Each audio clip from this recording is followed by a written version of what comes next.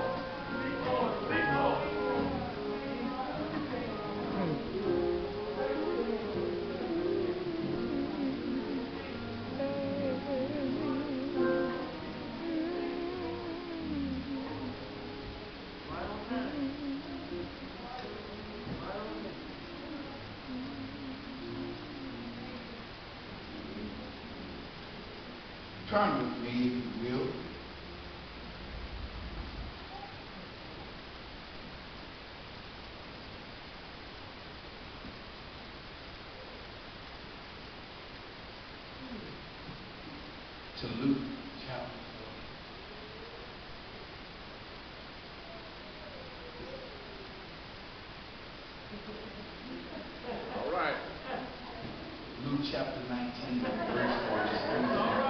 Y'all did a good job turning there. Luke chapter 19 and verse 40. All right.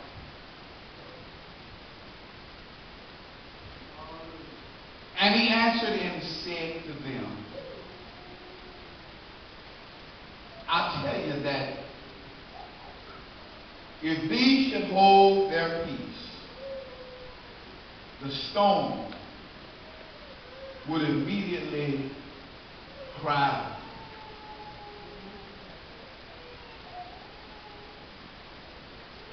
I want to talk on the thoughtful subject. When the shouting Hmm. stops. All right. All right.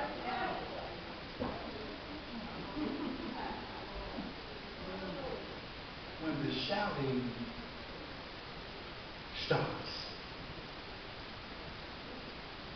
Let us pray.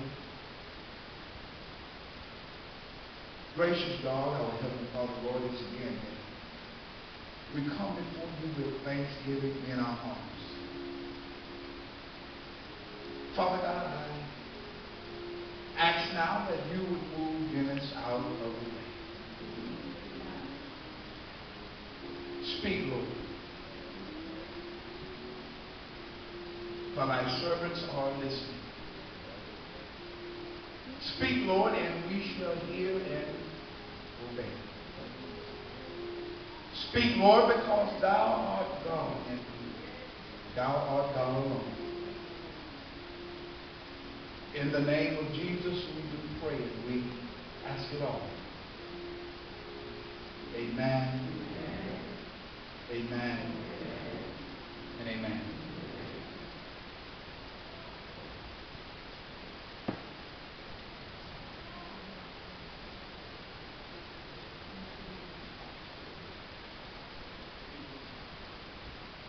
All of us,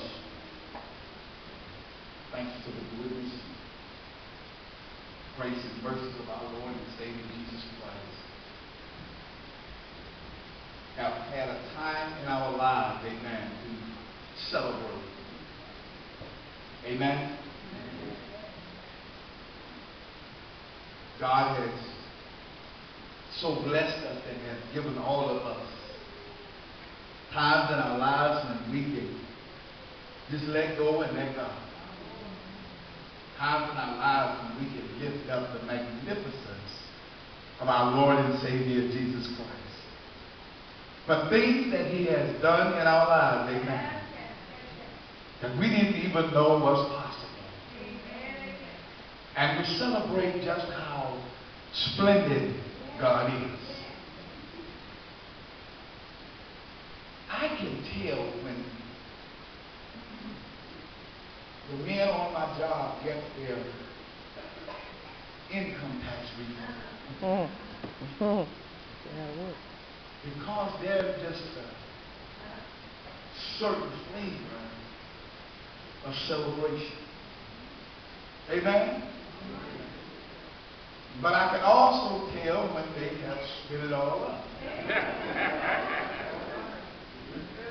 because that celebration is not there. Can I get a witness? It's something how so many of our celebrations are short-lived. Amen, somebody? One moment and one day you celebrate and the next day the same thing can happen and amen, every day ought to be a day of thanksgiving. Every day that the Lord allows us to live, we have something to celebrate. Amen.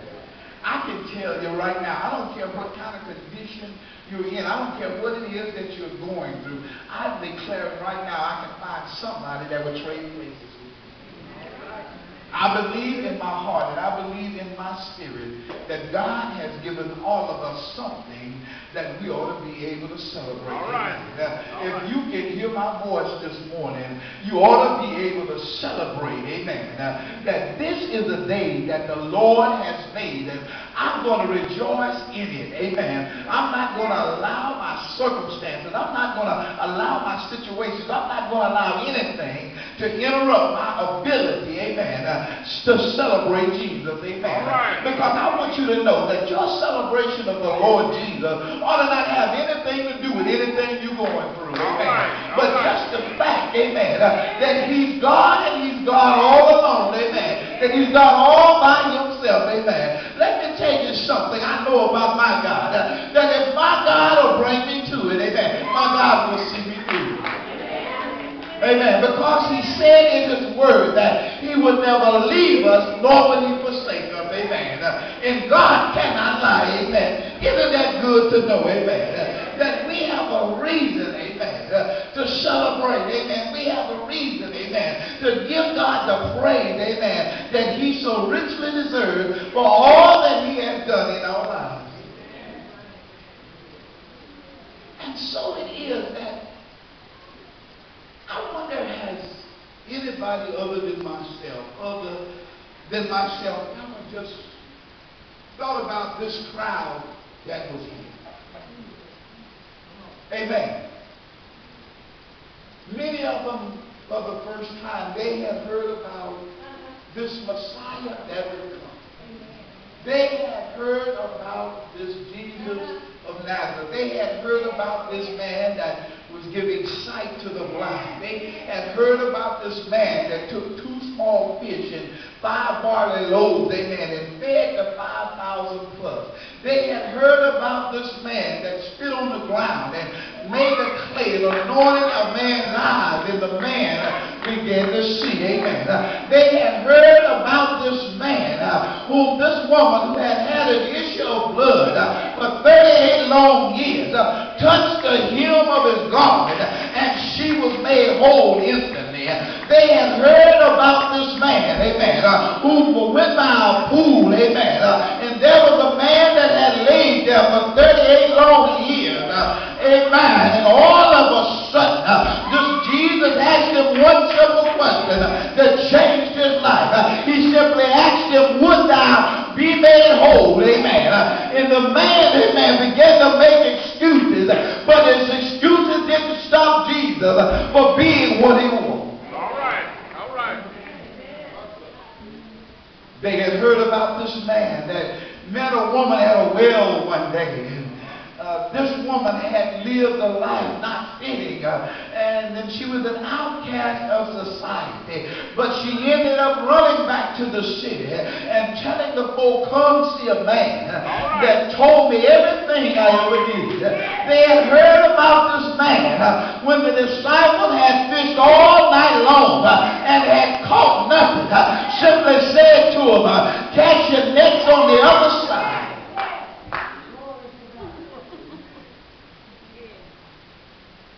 They had heard all of their lives, amen, that Israel one day will be restored to where God intended for her to be. Israel, see, many of them did not realize uh, that they never lost, amen, uh, who they was in the Lord, amen. But because they changed their form of worship, what am I saying? I'm saying to somebody right now, uh, you are still where you were. You are still what you always were to the Lord. But the problem is, uh, you no longer worship God. You remember when you was ashamed to shout? You, you, you wouldn't shout in church because you didn't want folk to, you didn't know how folk were going to act about your shout. Your shout may not have been the prettiest shout. And your shout may not have, but you had your shout, amen. You get out there behind the house cutting grass. Can I get a witness, amen? Uh-uh. You be in the house by yourself. Nobody but you.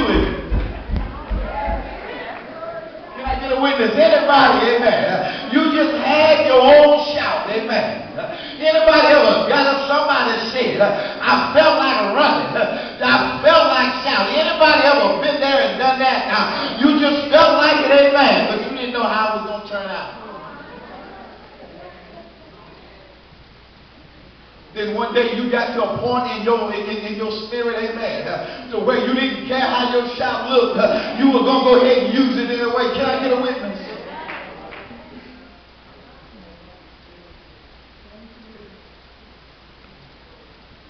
There are some folk that you could not wait to get to the church.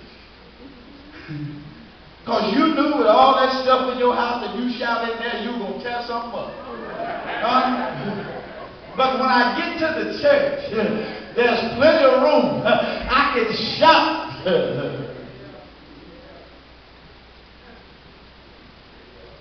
but there's somebody also remember when your shouting stopped. You allow circumstances, you allow situations, you allow things that came upon you, amen, to stop your shouting. All right. The Bible declares that this day that we celebrate, which is called Palm Sunday, was a day of celebration. All right. Mm-hmm. They were shouting because to many it meant that God was really now to restore us. They shouted, Hosanna, which means God's salvation has come. See God's salvation. See how God is going to move. See what God is going to do with this house. Amen. Anybody coming here this morning shouting Hosanna because you just realize that God is getting ready to move in your life. Amen. I want you to know something about when God gets ready to move in your life. It may not always look like God ready to move. It may not always look like God is getting ready to do anything, but I declare to you right now, uh, at the very time that you think not, amen, it already is, amen. Uh, hello, somebody. So they were shouting and they were praising God, they were lifting him up. Many were shouting, Hail, the King that cometh in the name of the Lord. Now listen to what they were shouting about. They were shouting because they realized that he has come in the name of the Lord.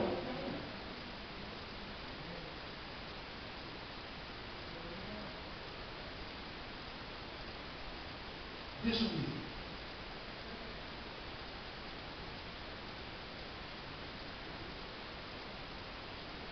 I want to caution you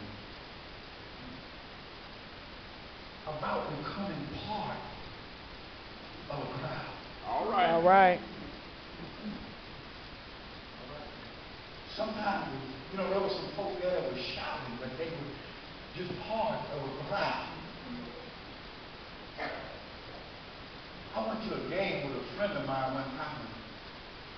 Just so happened the day we went to the game, I was tired.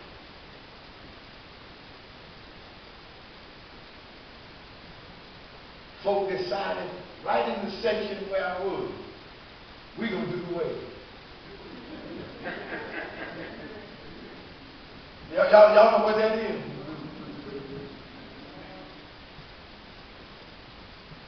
They stand up, you stand up. They move, you move. Huh? I remember thinking to myself, Lord, why did I sit here? I'm not doing this because it's something that, that I want to do, but I'm doing it because of what? I'm caught up in this crowd. And so it was that there were folk that I believe that were praising God. There were folk that were celebrating simply because they became caught up in a crowd. All right. Watch out how you become caught up in a crowd because the dangerous thing about a crowd is that when they lose theirs, you lose. All right. So true. You got to have a made up mind that you're going to worship and you're going to serve the Lord because He is your God. You're going to serve Him. You're going to worship Him. Amen. Many were there that were celebrating.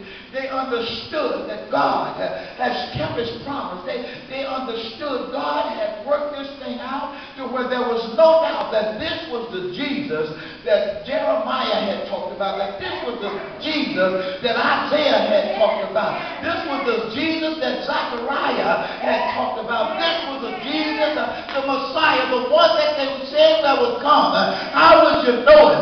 Because he's not coming riding on a white horse, but he's going to come riding on a foal of a donkey. All right. Somebody looked down the road and it was, how it is, it was to be unmistakable. I dare somebody to ride past White Oak and, and you see them and you not identify them if they were riding a donkey.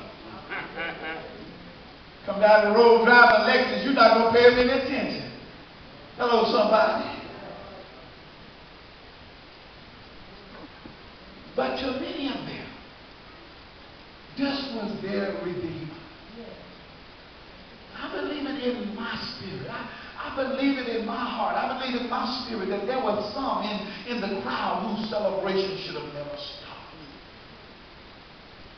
I believe that woman that had the issue of blood, I, I believe her celebration should have never stopped. All right. I believe that Jairus was in the crowd because his daughter was dead and Jesus brought her back to life. I believe her celebration should have never stopped. All right. I believe that Mary and Martha were in the crowd, amen, the, the, good God Almighty, because their brother was dead, had been put in the tomb, but Jesus, I believe that their celebration should have never stopped. I believe that there are some in Today who should have come here to celebrate. You should have come to continue your celebration because you know that you know that God has made a way for you. You know that you're you know that you know that you were down to your last dime and God blessed you. You know that you know that what your doctor saw you had, but God delivered. Amen. You know that you know uh, that what you were going through was real. Uh, but one night you prayed and laid down to sleep uh, and got up and God. All right. But God.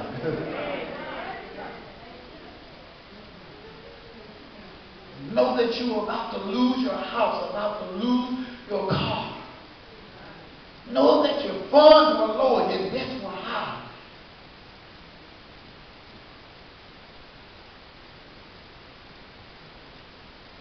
Stop.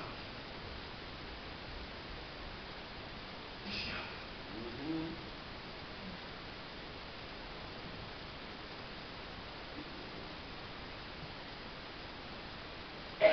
day that my trial sermon.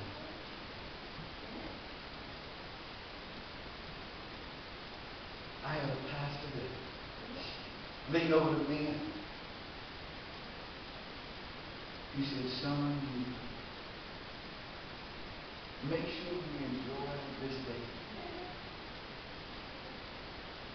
Because the crowd that you see before you now that have gathered to celebrate what you're doing. The next time the crowd gathers this large, you won't be able to see. All right. Mm. Mm. Mm.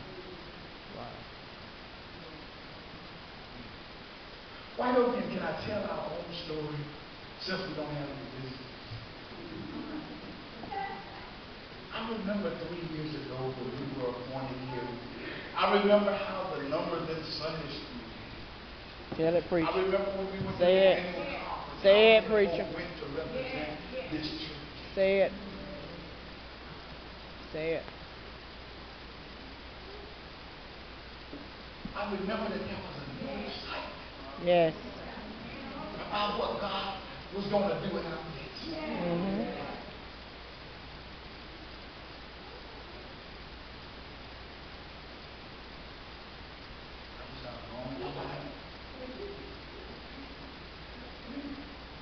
I just started messing with the money. Ain't all arguing with y'all.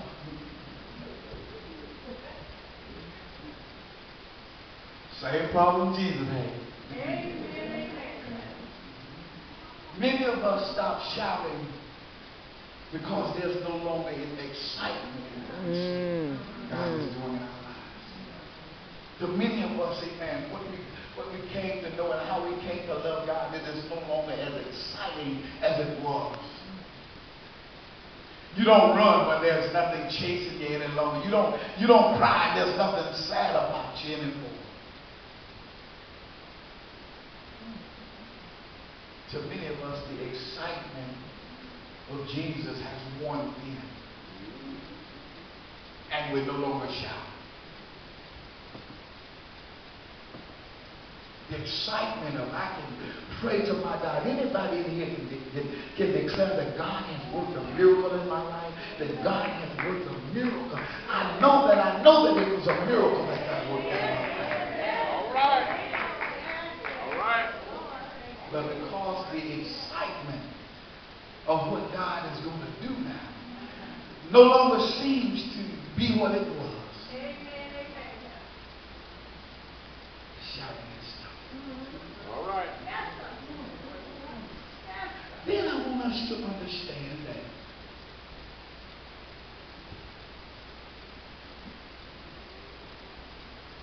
the shouting did not really stop. It just changed course. Because do we realize that many of those that were excited and many of those that were shouting, Hail to the King of the Jews, when they realized that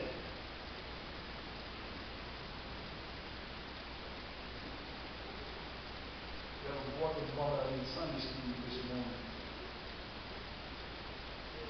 It's all right to have him as a king. But we don't need no savior. Amen, somebody? If he was going to, if Jesus had to set up an earthly kingdom, he would have had the greatest kingdom there ever was. Y'all got to understand that. If he came to, to, to overthrow the, the, the Roman government, he would have been the greatest savior there ever was to let some folk, and some of us, amen, all we want to do is feel good in our flesh. We want something that what? That's exciting, that's new to the flesh. Amen? Y'all remember VCR? I didn't think so. All right. Huh? Yeah. I'm talking about the kind that had the cord on it, with the remote on the other end of the cord. Uh,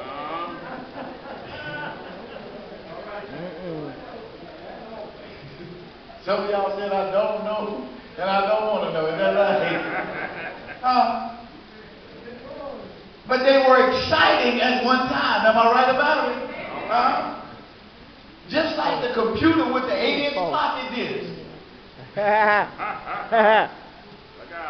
It was exciting at one time because it gave us something new. And a lot of folk view Jesus, amen. Uh, so, so, so, so, so, so, so, when they examined him, amen, when they got to know him, huh? Not only did the excitement change, but once they examined him to find out what is this man Jesus all about. This man Jesus is about more than just what? A meal every now and then. This yes, man yes. Jesus is more than just healing every now and then. This man Jesus is more Yes. than just change every now and then. But this man Jesus is real. yes, he is. Yes, he is.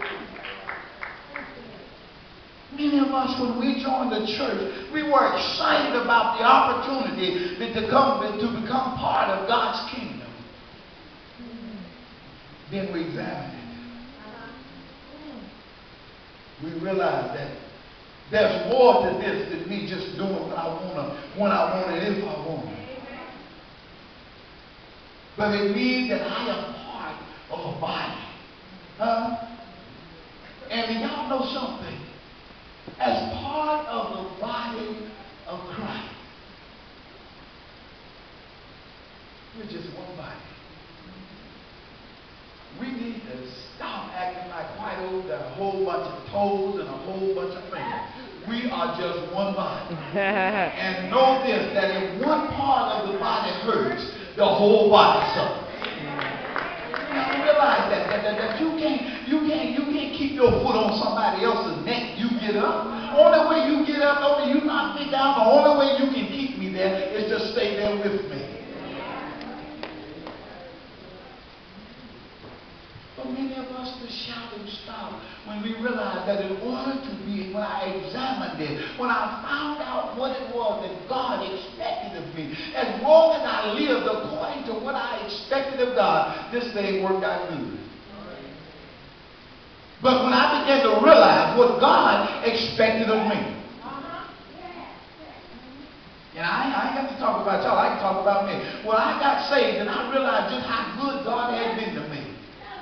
I realized that God had made a way for me, that God had kept me, God had blessed me, God had blessed my life, God had given me the woman of my dream, God had blessed me, God had given us a new home, and God had done things that I, God had given me a great job, God had done all these things for me, and I was celebrating, I could shout because of what God had done for me.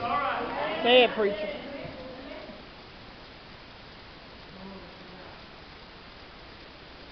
Then one day God said, go preach my word.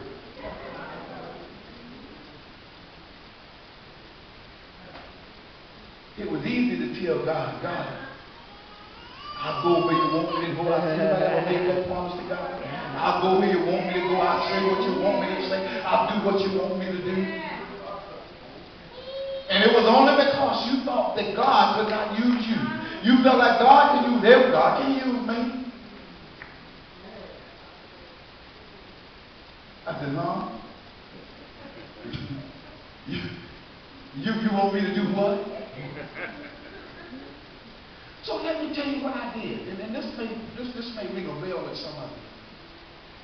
I'm going to come down here and tell you this because I don't want y'all to miss this. I decided that I would do for God what I was good at.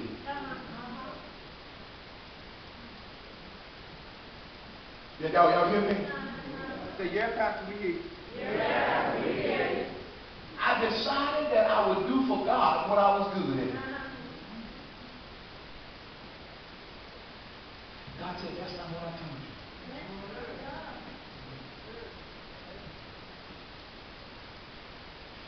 And I lost my shout.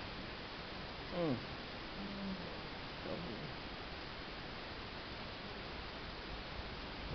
God looked at me and that button that said shout, and turned it off. Mm.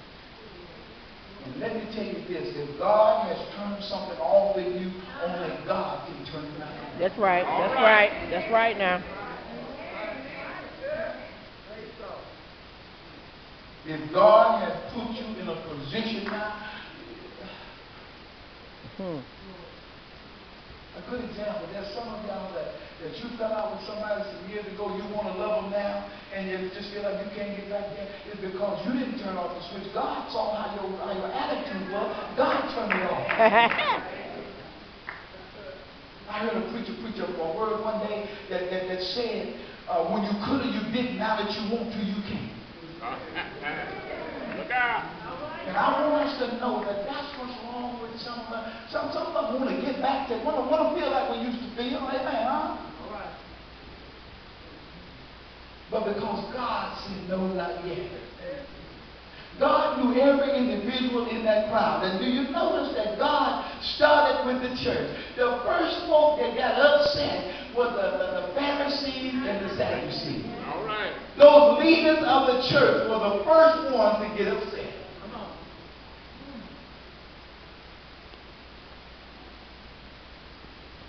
Because they had been running the temple their own way. All right. Go through.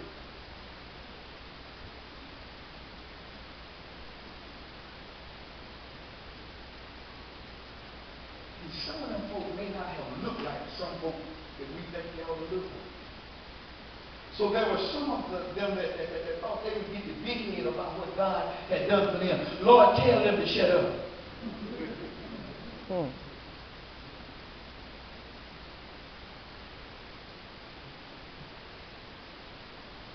Your shout was all right.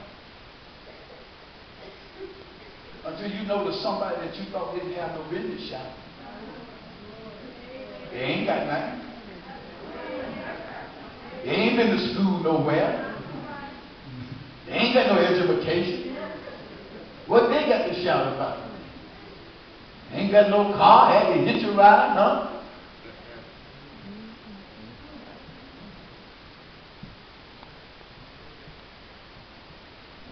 So they said, Jesus, tell these folks to shut up. They don't, don't know enough. Ain't never Bible study. Don't come to Sunday school. I ain't started putting nothing in the plate. Tell them to shut up.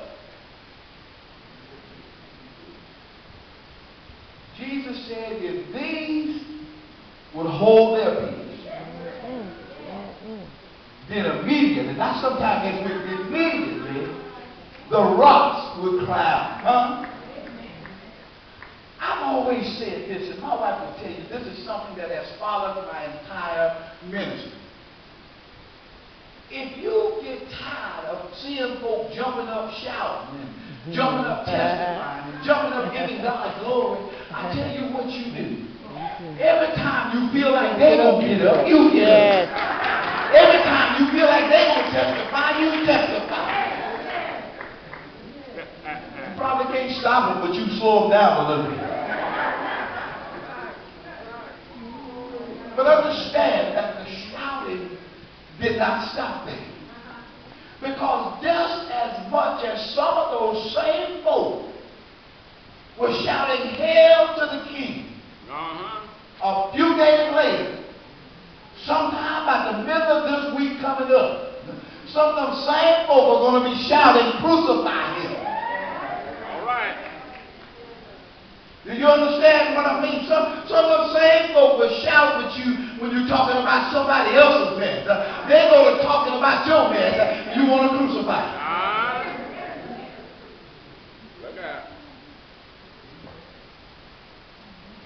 Long as they go along and long as they do is celebrate. Some of them same folk that were shouting hail to our Lord.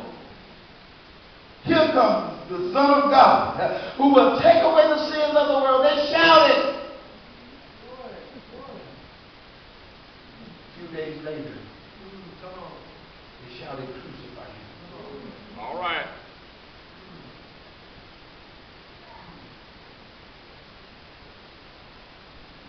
Then the king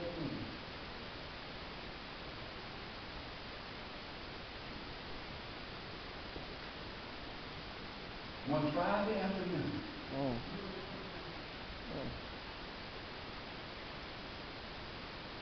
they led him out to a old hill called Golgotha. There they stretched him wide. And they hung him high. They nailed him, y'all. They nailed him to the cross. Bible even declares that when they nailed him to the cross, that the sun could be shine. All right. All right. But y'all know something I began to realize. that Jesus said that if I be lifted up from the earth, I'll draw all men unto me. yes, you will. I understand why the sun couldn't shine that afternoon. Because there was no need for two suns to shine all at the same All time. right, all right, all All right. right.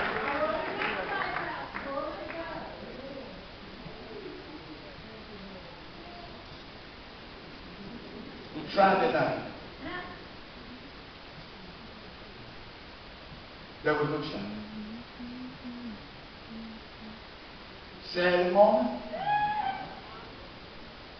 was no shine. Mm-mm.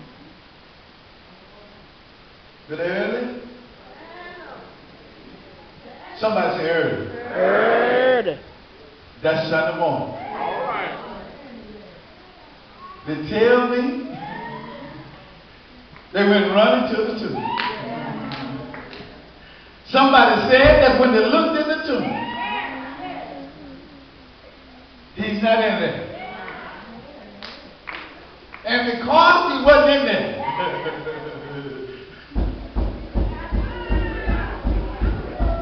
somebody said, I have something that I can shout all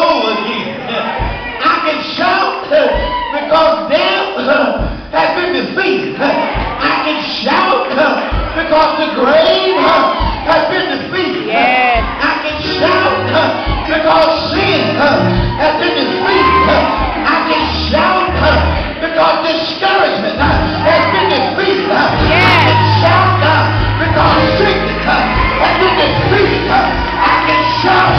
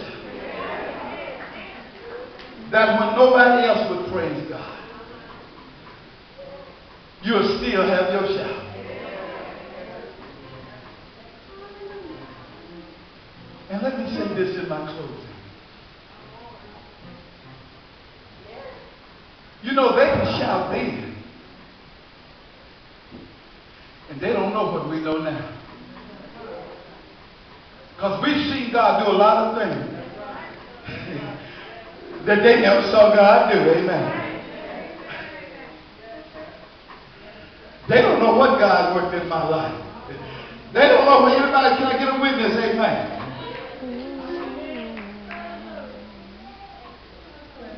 I want to ask you a question. What is it that stopped your shouting? Hmm. What happened in your life?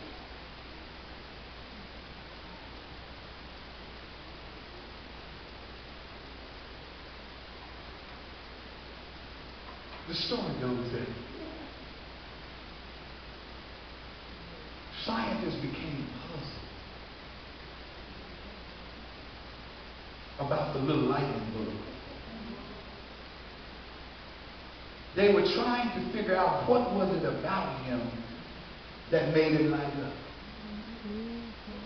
He didn't look no different from no other bug.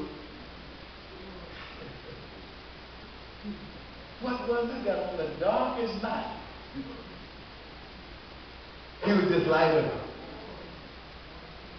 It could rain, and as soon as the rain ceased, he started lighting up. So they got sick. Examine the little bug see what it was that made him light up. They came to one conclusion. That whatever it was that made him light up, the stuff was on the inside. Whatever it is that makes us shout, I want y'all to know something. The stuff has to be on the inside. Oh, yes, it does. Yes, it does. All of the stuff yes. that goes on in the world. Yes. With all of the stuff that goes on around us, amen. Yes. If you want to